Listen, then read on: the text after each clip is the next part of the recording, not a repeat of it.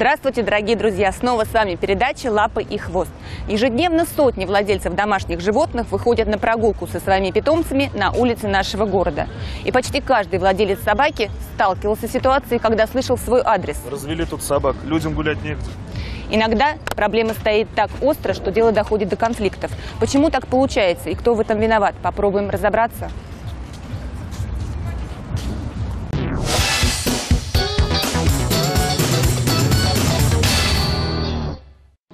Ангелина, хозяйка ротвейлера по имени Флёр, старается на прогулках обходить детей стороной. Но не потому, что сомневается в добродушности своей собаки. Дети сейчас разные.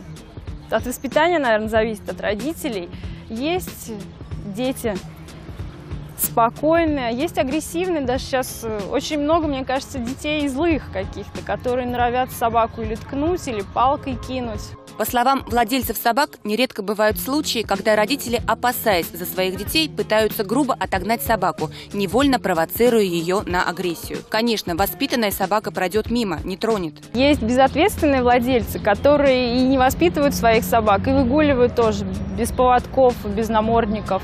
Понять молодых родителей можно. В последнее время в средствах массовой информации очень часто встречаются сообщения о проявлении агрессии собак по отношению к людям.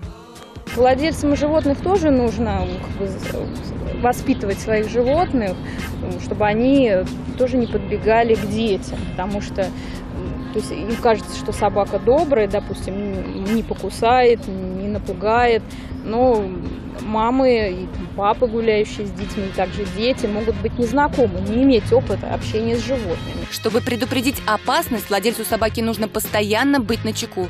Зоопсихологи подтверждают, хозяин собаки должен отвечать за ее поведение.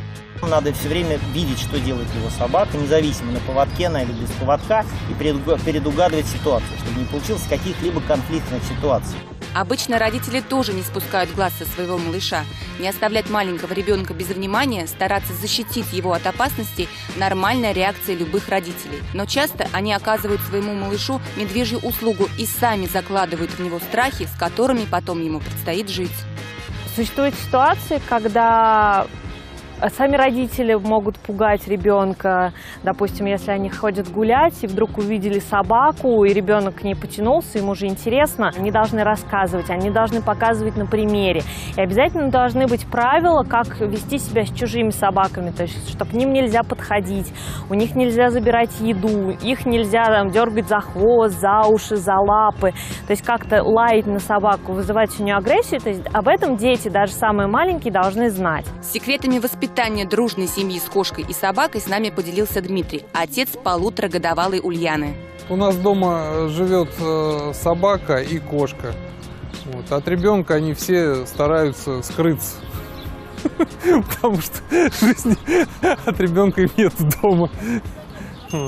Вся еда, все, что попадается на пути у ребенка, это все его. Вот, э, звери на втором плане, они к этому привыкли. Своего ребенка мы стараемся научить, что на улице к чужим собакам подходить нельзя.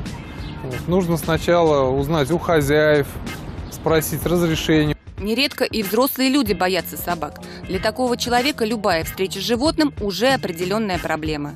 Если вы идете по узкой тропинке со своей собакой и видите, что человек впереди испытывает страх, резко останавливается, уходит на обочину, сжимает руки, закрывается сумкой, проявите чуткость, подзовите к себе собаку, возьмите ее на поводок, уйдите в другую сторону или обойдите этого человека. Все мы живем в социуме.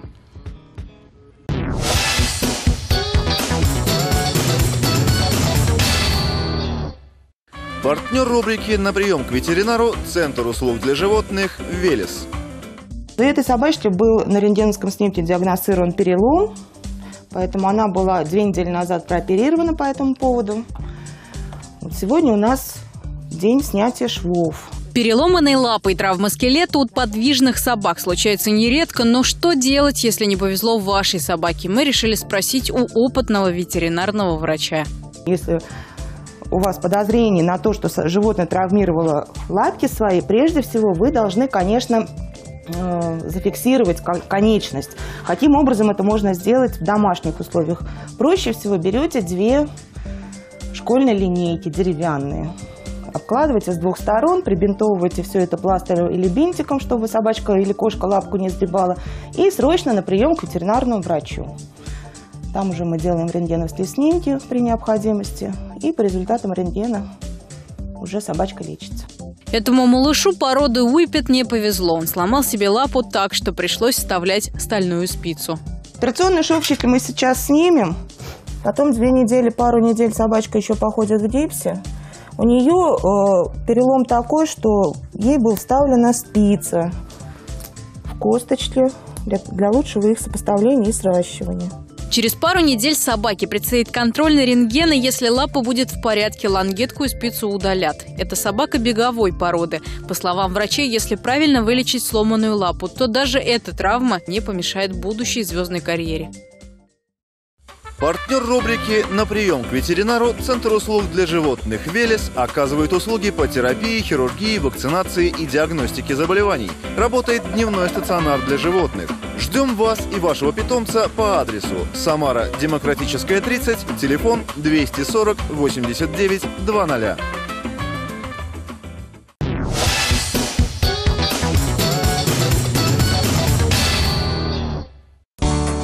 Партнер рубрики «Все как у людей» – сеть магазинов зоотоваров «Четыре лапы и хвост». В нашем магазине представлен широкий выбор одежды для ваших собак.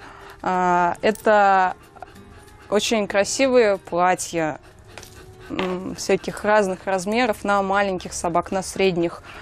А, много очень красивых маечек со всякими интересными рисунками, даже вот такие вот маленькие со стразиками. Гламурная дива или стильный спортсмен. Одежда для собак может не только защищать от грязи и холода. Теперь ваш питомец станет настоящим украшением, и на прогулке он точно не останется незамеченным. На мальчиков есть темные вот такие вот костюмчики спортивные. То есть тоже на прогулке очень удобно одеть, собачка не испачкается, особенно если собака ходит в длинной шерсти. А, такие породы, как йорки, шицу, допустим. Также летом очень актуальны пыльники. Они легкие за счет своей ткани, но собачка на прогулке у вас не испачкается и очень удобно. Для девочек пыльнички есть вот такие вот, как плащики. То есть здесь такая юбочка красивая. Для девочек есть еще один важный элемент гардероба. Трусики для собак помогут красиво решить проблему гигиены. Трусики собачки можно одевать во время течки. А, они, то есть собачка уже не испачкает вам квартиру, и если у вас проживает больше одной собаки, они могут находиться вместе, и у вас внезапно не получится щенков. На мальчиков есть просто вот такие вот коричневые трусики, ну, в качестве красивого аксессуара можно одевать. Одеваться красиво могут не только йорки или тои. Хотя выбор одежды и потребность в ней у маленьких собак гораздо больше, их крупные братья тоже не останутся без униформы. Для больших собак тоже есть одежда. Это дождевики. Очень удобно летом в дождь на прогулку одевать. Также собакам с длинной шерстью, но и короткошерстным собакам более приятно гулять, э, комфортнее гулять на улице. Кроме плащей, костюмов и маек, для четвероногих друзей есть носочки и ботинки. Обувь незаменима, если животное травмировало лапу. Носочки нужны собакам после операции. Многие надевают ботиночки, когда на улице слякоть. Партнер рубрики «Все как у людей» – сеть магазинов зоотоваров «Четыре лапы и хвост». Магазин интересных зоотоваров для любителей и профессионалов. Адреса магазинов в Самаре. Проспект Карла Маркса, 179, улица Победы, 10 и Новосадовая, 139.